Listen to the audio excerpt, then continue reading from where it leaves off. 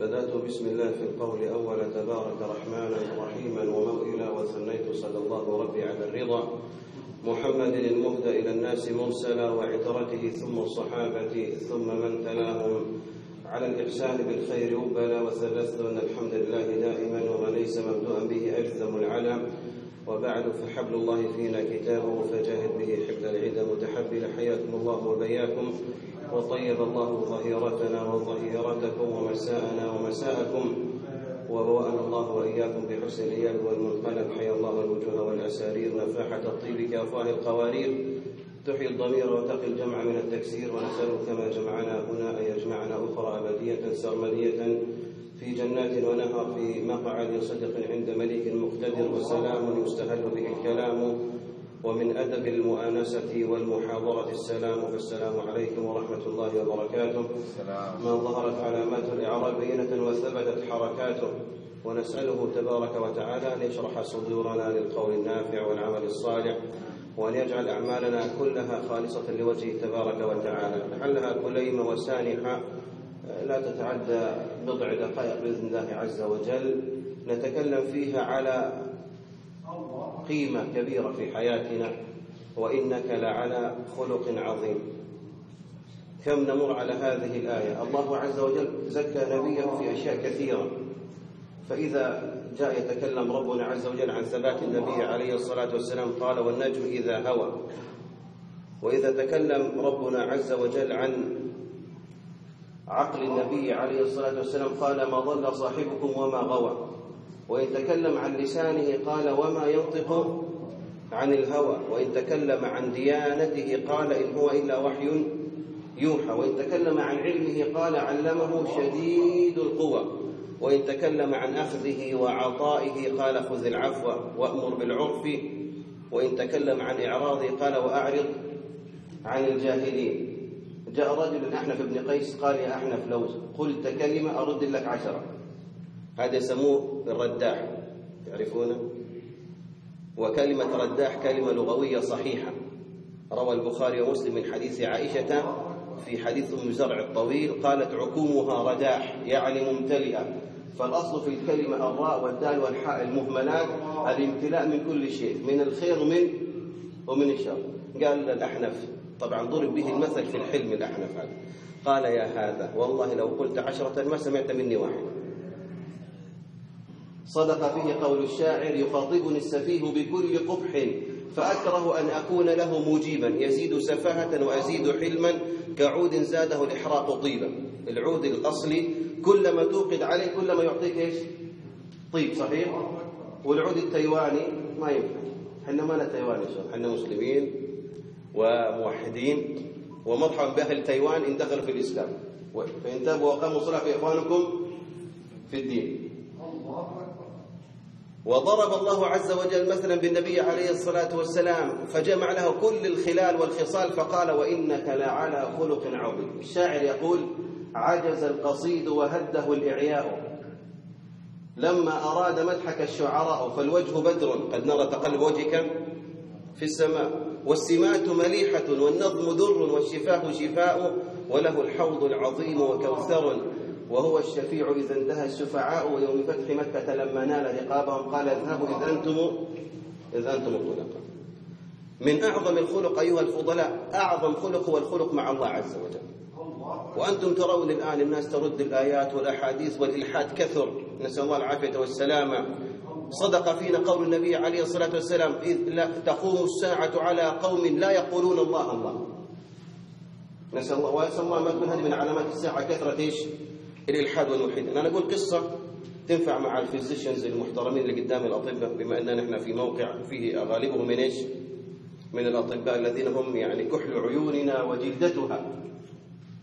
فنقول كان عندي واحد يحضر الدرس ويعرف الدكتور محمد. هذا كان شيوعي communist أحمر أكثر من الشماغ اللي أنت لابسه هذا أو اللي أنا لابسه هذا أحمر من الدرجة الأولى كيم إل سونج من الدرجة الأولى.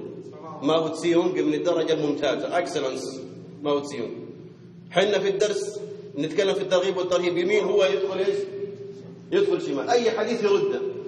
وكنت بيني وبين نفسي ادعي أقول يا رب تصلح حاله يا رب تعفو عنه. لأن إحنا نحب كل الناس تدخل في إيش؟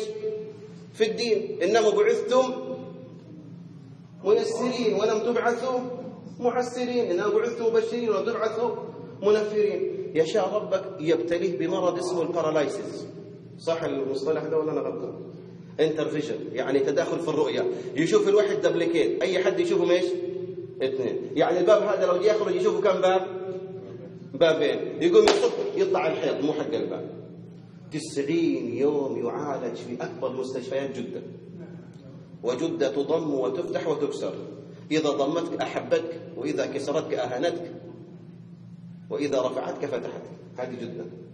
بلد عرفتم يا مشايخ يا حبايبي تسعين يوم antibiotic analgesic antipyretic اشتغل لك كل أنواع الأدوية التي اكتشفها الأطباء واللي ما اكتشفوا الأطباء. والرجل بقى عنده diarrhea و constipation كل ال contraindication كل ال side effect أصابته الأعراض الجانبية. اسهال وامساك وحالته بقت بالبلاء الله ينجي لكم من البلاء جاء له زار واحد من جماعته. وجلس قهوة وكذا قال له وين ماشي؟ قال له والله بروح أسوي حجامة. إيش رأيك تيجي معانا يا أبو محمد؟ وأنت 90 يوم وما أنك شايف. أصبحت تقاد. العينان موجودتان لكنهما سلبت إيش؟ نعمة الإيش؟ التمييز البصر موجود لكن ما في تمييز الشيء اثنين اثنين. حتى السيارة ما يقدر إنه يسوقها. الدرج يشيلون فيه شيل ويرفعون رفع. تعرفون الاطباء يعرفون المرض وش يصلح قال لا يلا. جربت 90 خليني اجرب مع إنه هو إيش؟ كوميونست ما عنده أي اعتقاد فيما يقوله. الله فضلا عن رسول الله عليه الصلاة والسلام. يقول والله رحت عند الحجام في جنوب جدة باب مكة. الدبان والزحمة والدميان. قال والله لكن بعد أن خرجت من باب الحجام رد الله إلي بصري. قلت صدق رسول الله عليه الصلاة والسلام. الطب في ثلاث. الطب في في ثلاث. شرطة محجم. هذه واحدة إيش؟ منها. والعسل وشربة عسل والكي وإن ينهى الكي. روى البخاري ومسلم. بعد ذلك يا إخواني لزم الدرس وأصبح من أحب الناس إليه. قال الله وقال رسول الله. لذلك أنت ما تدري ممكن تنزل بالإنسان مصيبة لكنها تصلح له إيش؟ push in the right direction يسموها. دفعة في الاتجاه الصحيح. تحطك على الطريق المستقيم. ولذلك ونبلوكم بالشر والخير. فتنة وإلينا ترجعون. القصة ما كملت راح للدكتور يزوره. طبعا الدكتور شو مصلع و يعني آثار المشرط في صدغيه وفي قفاه. قال له أبو محمد باشمهندس. هو عنده ماستر في ال aviation engineering في الهندسة البحرية وكذا. قال له وش وش صار عليك؟ قال والله صار وصار وصار. قال يا رجال أنت تصدق هذول الكذابين؟ قال له يا أخي ربنا شفاني. قال له coincidence قال دي جات صدفة. فإنهم لا يكذبونك ولكن الظالمين بآيات الله يجحدون. قالوا ال coincidence هذه 90 يوم وأنا عندك ليش ما جاتني؟ ما جاني غير إسهال وإمساك وتعب وحالتي بقت بالبلاء فكان النبي أول شيء يعمق في قلوب الصحابة أعظم خلق هي العلاقة مع من؟ مع الله عز وجل. ثانيا تأتي العلاقة مع الخلق. قال النبي عليه الصلاة والسلام عند البخاري من حديث أبي قلابة عن أنس ثلاث من كنا فيه وعند مسلم أيضا. وجد بهن حلاوة الإيمان أن يكون الله ورسوله أحب إليه مما سواهم. أن يحب المرء لا يحب إلا إلا لله. لا من أجل مصلحة دنيوية ولا بزنس ولا شيء. لله أنا أحبك في الله ولله. قال النبي عليه الصلاة والسلام في الترغيب والترهيب صحيح الجامع لرجل إني أحب فلان. قال أخبرته؟ قال لا. قال اذهب فأخبره. من السنة تحب الإنسان بشرط أنك تكون حب من أجل إيش؟ حب في الله فقط. ليس من أجل الدنيا. قال اذهب فأخبره وإذا إنسان قال لك أحبك. فلا له أحبك الله الذي أحببتني من أجل وأنا أشهد الله أن أحبكم في الله. لا أعرفكم ولا تعرفون. وأسأل الله يجمعنا بهذا الحب في جنات النعيم. الدنيا منتهية. طالب متوسط. كان يتمشى في الممشى. يسوي رياضة. وفته المنية سبحان الله. متوسط. ولذلك أنت لا تدري إذا جن ليل هل تعيش إلى الفجر؟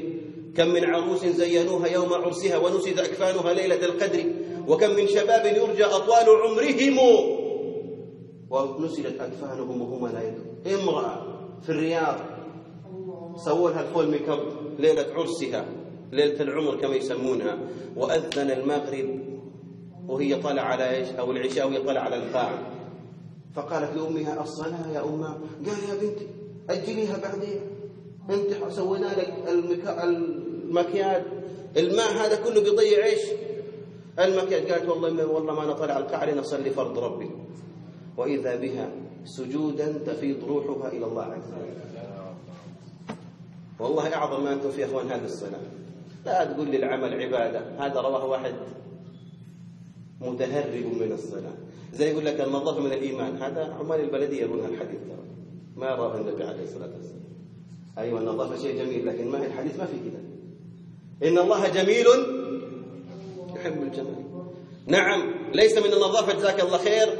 وانت ماشي في الطريق ومعاك أولادك أو دقالك تشرب في الشاهي وتقوم منزل القزاز ورامي الكاسة وين؟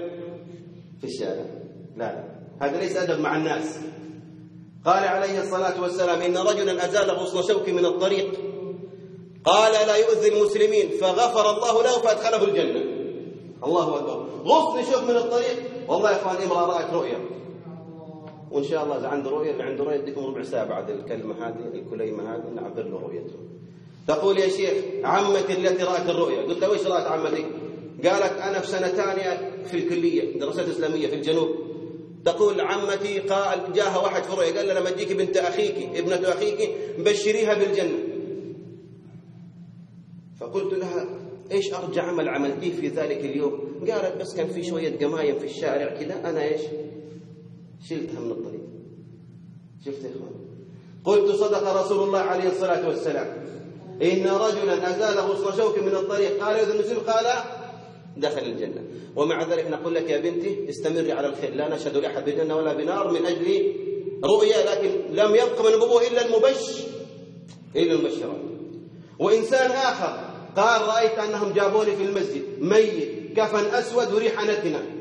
قلنا له أحسن الله عزاك فأنت تارك صلاة. قال أي والله لكني من اليوم أنا تايب من اليوم والله ما تشوفني يا شيخ إلا بعد كده فين؟ لا يراني الله إلا وأنا فين؟ إلا أنا في الصفين رسالة للمدخنين والمشيشين والمتنبكين والمقدتين. هذا بتوع القاتل توبوا إلى الله جميعا أيها المؤمنون لعلكم تفلحون.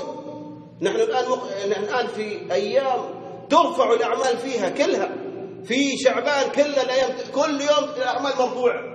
كما صح من حديث أسامة بن زيد بن حارثة عند أحمد والنسائي.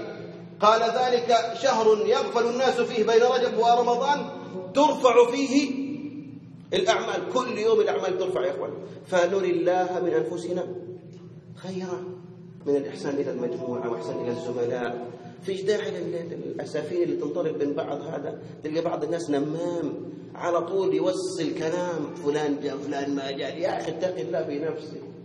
قال عليه الصلاة والسلام في الصحيح لا يدخل الجنة نمام. وقال عليه الصلاة والسلام القالة حالقة لا أقول تحلق الشعر ولكنها تحلق الدين. وقال عليه الصلاة والسلام لا تخبروني عن أصحابي شيئا إني أحب أن أخرج إليهم خالي الصدر. اتق الله في أذية المسلمين. قال عليه الصلاة والسلام من تتبع عورة امرئ مسلم تتبع الله عورته حتى يفضحه في دو في بيته. الله يسترنا وإياه الأيقونة الثالثة والأخيرة علاقة الإنسان مع نفسه. وأن يكره أن يعود في الكفر بعد إذ أنقذه الله منه كما يكره أن يقذف في النار. وهذه صحت من حديث عند الترمذي عن أبي ذر. ومعاذ بن جبل أبي عبد الرحمن. قال عليه الصلاة والسلام اتق الله حيثما كنت. هذه العلاقة مع مين؟ مع الله. سيدنا عمر يسأل سيدنا أبي يقول له يا أبي إيه معنى التقوى؟ قال يا أمير المؤمنين أرأيت إن كنت في أرض مليئة بالشوك ماذا تفعل؟ قال أتقي. قال هذه التقوى. هذا معنى التقوى. أن تجعل بينك وبين الله عذاب الله إيش؟ وقيا قال علي التقوى الخوف من الجليل والعمل بالتنزيل والرضا بالقليل والاستعداد ليوم الرحيل ليس دارا للمرء بعد الموت يسكنها إلا التي كان قبل الموت بانيها. فإن بناها بخير طاب مسكنها وإن بناها بشر خاب بانيها. واعمل لدار رضوان خازنها. الجار أحمد والرحمن ناشيها. المسك طينتها والزعفران حشيش نابت فيها. جاء جبريل النبي عليه الصلاة والسلام في الصحيح قال يا رسول الله يا محمد عليه الصلاة والسلام اعمل ما شئت فإنك مجزي به. واحبب ما شئت فإنك مفارقه. وعش ما شئت فإنك ميت. واعلم أن شرف المؤمن قيامه بالليل وعزه استغناؤه عما في أيدي الناس. أعظم خلق بينك وبين نفسك قيام الليل بعد التوحيد. والله يا إخوان ما من إنسان يدمن قيام الليل إلا حسنت عبادته وديانته وعقيدته ومعاملته مع الناس. ولو ركعتان أختم بهذا الحديث الجميل عن أبي أمامة عند أبي داود. قال عليه الصلاة والسلام من قام الليل بعشر آيات إن أعطيناك الكوثر مع الفاتحة. لم يكتب من الغافلين. عشر آيات. الله أكبر. عشر آيات. أي والله عشر آيات. ومن قام الليل بمئة آية. النازعات والنبأ مع الفاتحة. كتب من القانتين والقنوت معناه طول القيام. ومن قام الليل بألف آية اللي هي الجزء الثامن والتاسع والعشرون والثلاثون كتب من المقنطرين. ولما كنا نسمع أن بعض السلف كان يقوم مئة ركعة في اليوم كنا نتعجب. لكن لما رأينا الجلكسي اللي تاب واللي ما تاب واللي لسه بيتوب وتلقى صاحبنا هنا في المصنقر على الجوال جاله غضروف في رقبته. مركب رقبه بالساعات الطوال علمنا أن من أدمن شيئا أحبه وأكثر منه. وأنتم أهل فضل وخير وإن شاء الله تكون مثل القيام والصيام. ونجعل رمضان شعبان بالنسبة لرمضان كالنافلة بالنسبة للفريضة. أسأل الله أن يحرم هذا الوجود المبارك على النار. ومن تحب وذراريها وأهلها وأن يجمعنا في جنات النعم إخوانا على سرر متقابلين. ربنا آت نفوسنا تقواها زكها أنت خير من زكاها أنت وليها ومولاها. اللهم انزل علينا من بحر جودك البركات وكفر عنا جميع السيئات واغفر إلى قول لا إله إلا الله عندنا. أحسن عاقبتنا في الأمور كلها ونجينا من خزي الدنيا من عذاب الآخرة. اللهم لا تحرمنا فضلك بذنوبنا ولا تحرمنا برك بقحطنا. ولا تحرمنا جنتك بسيئاتنا واجعل عافيتك أوسع لنا يا رب العالمين يا أرحم الراحمين.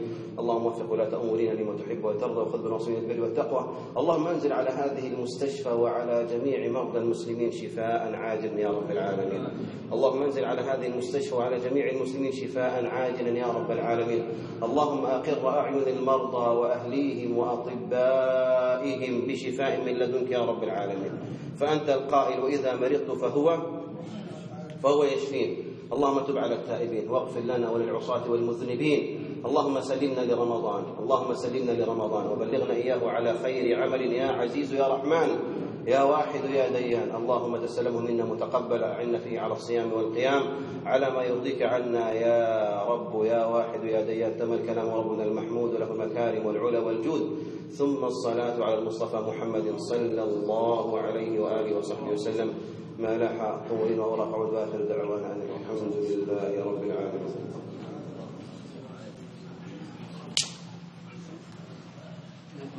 Thank you. 皆さん。